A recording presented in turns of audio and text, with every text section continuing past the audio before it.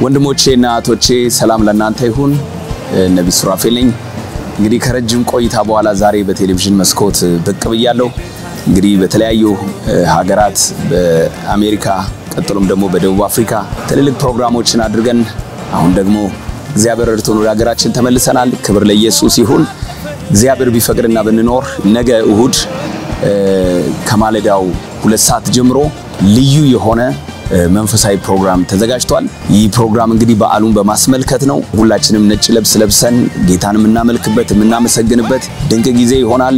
ወዳጆቼ፣ በመላው ዓለም ያላችሁ ድምፄ የሚሰማችሁ በሙሉ የምትወዱኝ የምወዳችሁ ሁላችሁም በዚህ ፕሮግራም ላይ እንድትገኙ ከኛ ጋር ጌታን እንድታመሰግኑ ጥሬን አቀርባለሁ። መጽሐፍ ቅዱስ እንደሚል ፋሲካችን ክርስቶስ ታርዶልናልና ይላል።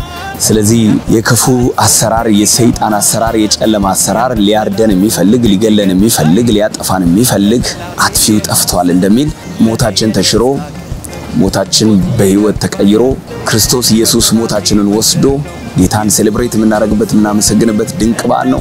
ስለዚህ የፊታችን እሁድ ከሁለት ሰዓት ጀምሮ ይኖረናል። እንዲሁም በተጨማሪ ዕለተ ማክሰኞ ሮብ በኢትዮጵያ calendar ዝግ ስለሆነ ሮብ ዕለት ቤታችን ማረፍ እንችላለን። ማክሰኞ ሌሊቱን ግን በጋራ በመሆን በ Presence of God International Church አዲስ አበባ አጥቢያ አብረን ጌታን የምናመሰግንበት ጌታን ከፍ ከፍ የምናደርግበት ጊዜ ነው የሚሆነው። እንግዲህ ፕሮግራሙ ሲያልቅ ደግሞ ወደ ተለያየ ቦታ የሚመልሱ ባሶች ተዘጋጅተዋል። አውቶቡሶች፣ Presence ባሶች ተዘጋጅተዋል።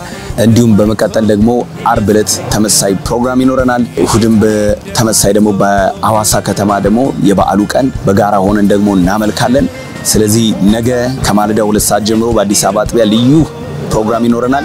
ነጭ ልብስ ለብሰን ጌታን የምናመሰግንበት። ማክሰኞ አዳር ፕሮግራም ይኖረናል። እሱንም ነጭ ልብስ ለብሰን ጌታን የምናከብርበት ይሆናል። እንዲሁም ደግሞ አርብ ከዛ ደግሞ እሁድ በአዋሳ እንግዲህ በእነዚህ ፕሮግራሞች ላይ በመገኘት የበረከት ተካፋይ ሁኑ። ወዳችኋለሁ። ተባረኩ። ሻሎም